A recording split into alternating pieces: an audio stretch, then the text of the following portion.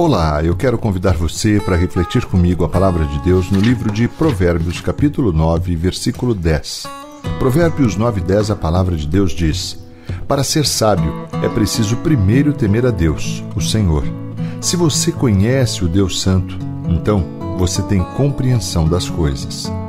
Sabe, o Senhor concedeu a Salomão o dom da sabedoria, e o próprio Salomão reconheceu: para ser sábio, primeiramente é preciso temer a Deus.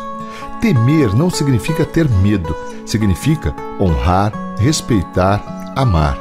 Quem teme a Deus olha para a vida conforme a perspectiva divina e se esforça para viver de uma forma que agrade ao Senhor. Essa é a verdadeira sabedoria: viver com Deus e para Deus, buscando sempre a orientação na Sua palavra. A sabedoria que vem de Deus deve orientar toda a nossa vida. Por isso, quanto mais procuramos aprender do Senhor na Sua palavra, mais sábios seremos e poderemos viver melhor em família. É dever dos pais transmitirem aos filhos o temor do Senhor. Mas como isso pode ser feito?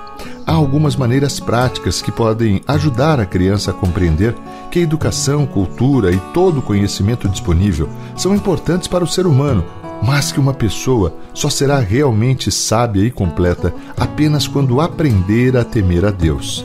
Os pais devem se esforçar para serem modelos para seus filhos, um exemplo de seriedade e reverência para com Deus, um referencial que ajudará a construir o caráter dos filhos devem também solidificarem os conceitos de Deus nos seus filhos, fazendo-os entender que o Senhor nos observa e avalia nossos motivos, os nossos pensamentos, as nossas palavras e ações. Em seguida, devem estudar com eles textos bíblicos que reiterem a presença de Deus na nossa vida. Sabe, a responsabilidade de construir o caráter dos filhos pertence aos pais ao servirem de modelos de temor ao Senhor, transmitindo às crianças os valores absolutos e imutáveis de Deus, eles estarão oferecendo aos filhos a oportunidade de desenvolverem uma vida significativa e valiosa. Pense sobre isso. Vamos orar? Senhor Deus, Pai amado, muito obrigado por esse dia lindo que o Senhor fez. Obrigado, Pai, por esta palavra tão preciosa ao nosso coração. A tua palavra, Pai, que nos orienta, que nos consola, nos conforta, nos anima, nos ensina. Pai, que possamos ser sábios e aprendemos nesta palavra, Pai, que o temor é o princípio da sabedoria, o temor ao Senhor.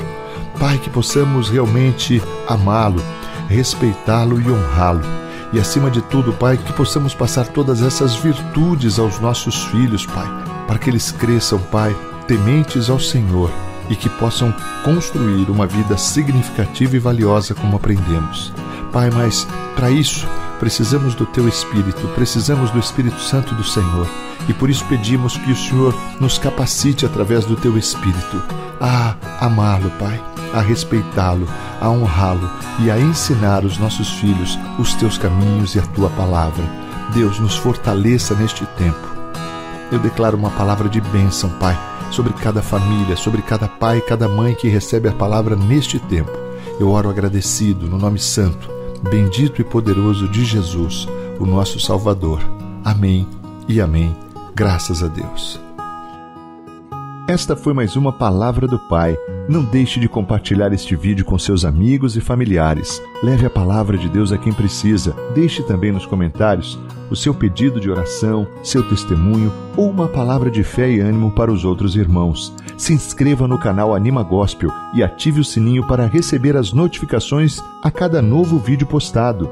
Inscreva-se também no canal Palavra do Pai e confira outras mensagens edificantes para sua vida. O canal Palavra do Pai é parceiro oficial do Anima Gospel. Inscreva-se já, que Deus te abençoe e até a próxima.